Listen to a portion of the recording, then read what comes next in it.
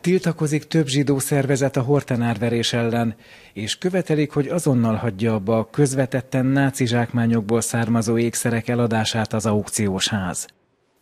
A Náci Milliárdosok című könyv szerzője állítja, hogy az asszony férje a náci uralom idején szerezte vagyonát, így a tiltakozók szerint a vagyon, ezáltal az ékszerek eredete történelmileg problémás, az idézzük átláthatóság hiánya miatt. David de Jong szakíró magyarázza, hogy a náci Németországban számos zsidót kényszerítettek a hatóságok vagyonuk eladására, vagy értéken aluli átadására. Sok zsidó a menekülés miatt vált meg áron alul értékeitől.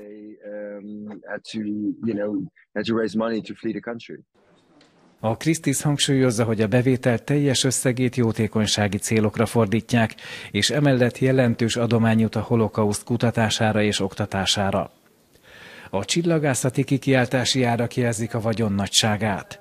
Az eladás előtti becslések 150-200 millió dolláros összértéket írnak. A Christie's nemzetközi ékszerrészlege Elizabeth Taylor kollekciójának 2011-es eladásához hasonlítja a mostani Horton aukciót.